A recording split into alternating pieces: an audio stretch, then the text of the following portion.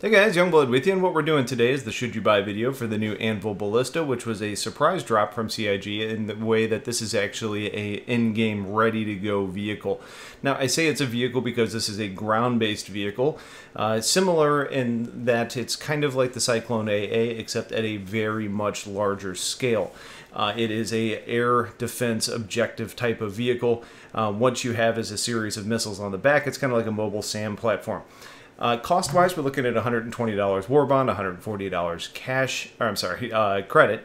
Uh, if you're not familiar with what war bond is, that means that you're actually spending new money into the game. Now, there are two new skins that you can actually get for this new vehicle, um, but they come in packages. So you're basically deciding that you're going to buy a snowblind version or a dune stalker version which is essentially a winter or a desert variant uh, meaning that you're going to be paying 125 for one of those instead uh, size wise, we're looking at 16 meters wide, 7 meters tall, 5 meters wide. So a relatively big vehicle. Um, and we have a crew of two. Uh, as far as the components this thing has on board, we're looking at um, vehicle components overall, though it does have two radars, two shield generators on it, so you're kind of getting a bolstered up vehicle compared to some of the others that we've seen in the game. Uh, it does not carry cargo, and you have a speed estimated at 33 meters per second. If you want to compare that to something you're familiar with that's already in the game, uh, you can look at the Cyclone, which is about 43 meters per second to 50 meters, depending on which model you're looking at. Uh, the weaponry here is what makes it interesting. Um, you have two size 2 Gatlings on the remote turret. Uh, based on the images, they kind of look like scorpions to me. Um, really designed to be focused in on close and personal combat. Um, so basically, if ships are able to evade your missiles and get a little bit closer to you, you have a turret that can rotate 360 degrees. Uh, you also have eight size 5 missiles, which are significantly large. You also have two size 7 missiles, which are very large.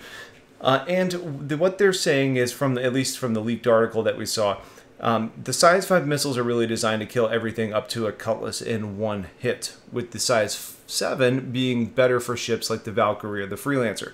Um, there's a couple things there. One, you need to really have the ability to choose which munition you have firing or you're going to have queued up to go next, uh, so you're not wasting a larger uh, missile than you need to, or you know you're not shooting something that's going to not do the job. Um, you also, we probably need to see what the impact of shields are going to have. Is the size 5 really going to kill a Cutlass if it's got full shields? Probably not. So we need some balancing type of discussion to really understand what this all means. Uh, as far as the range of your missiles, it's supposed to be over 2,000 meters, which is pretty good. Uh, it's not great, though, because, I mean, as you all know, I mean, distance is pretty vast in this game that we're playing. Um, you do have a small EM signature, which is great, meaning you can stay relatively hidden. If you're not firing your weapons or you're turning off certain systems, your heat signature should be pretty low too, uh, meaning that you may be able to lock and fire before they know you're even there. Now, as far as the design of this vehicle, it's very reminiscent of current and kind of older generation ICBM launchers. Um, the vehicle overall looks fairly well armored. Um, there may be some facilities interior based on some of the the pictures that we've seen. Um, although it's hard to tell what's really like component storage. Um, some things look like they could be a potentially internal gun rack or something like that for FPS weapons. Hard to really say, but hopefully the Q&A article is going to shine a little light onto that.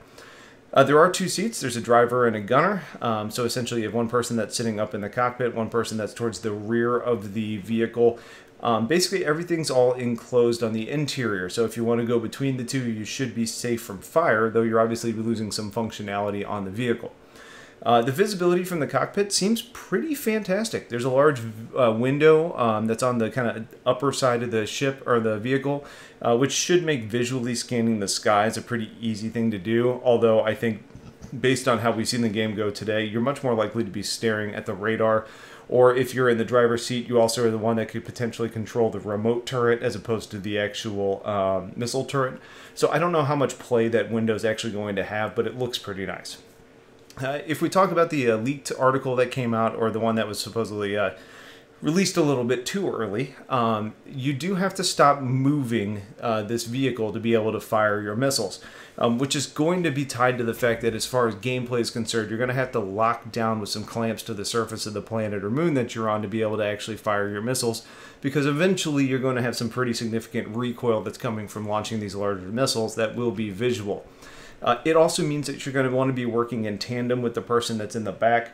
Um, theoretically, you could drive this as a one-man vehicle, um, being able to just you know drive, park, get up, get out of the driver's seat, go to the back, get in the missile launcher, and fire. So it's an option that you technically have available, but it, it doesn't necessarily mean that you're going to be as effective as you could be otherwise. Um, also, design-wise, you have eight wheels, so there's no tracks here. You've got four wheels on either side. And if you want to get into this vehicle, you have an entry on the port side. Um, I do have some questions here, like can this thing actually target ground targets? You know, would you be able to shoot a tank, for example? Would you be able to target a cyclone and launch a missile at it? I don't know. Would it be overkill? Probably. Um, you know, I think another question comes up that, you know, we know that you can dodge missiles. You also have countermeasures. You know, are countermeasures as effective when you're in atmosphere? Um, how well can a lot of these ships actually maneuver to dodge when you're in atmosphere? Um, you know, different ships have different abilities to do that. So I think there's a lot of factors here that come in to decide, you know, how valuable will this thing end up being. Um, as far as a real should you buy here, I think it's hard to say at this point. Um, I think the jury's still out on basically everything that's ground vehicle related. Um, you know, I don't know how terrain is going to play with this vehicle. I don't know how line, line of sight is going to be impacted by things like trees and hills and things. Uh, is a is a uh, spaceship that can come in at you know 500 meters per second something you're really going to be able to target if they're able to stay close to the horizon. I don't know. There's a lot there that we need to see. So i mean more than a lot of these i typically say wait for the q&a before we make a real buying decision.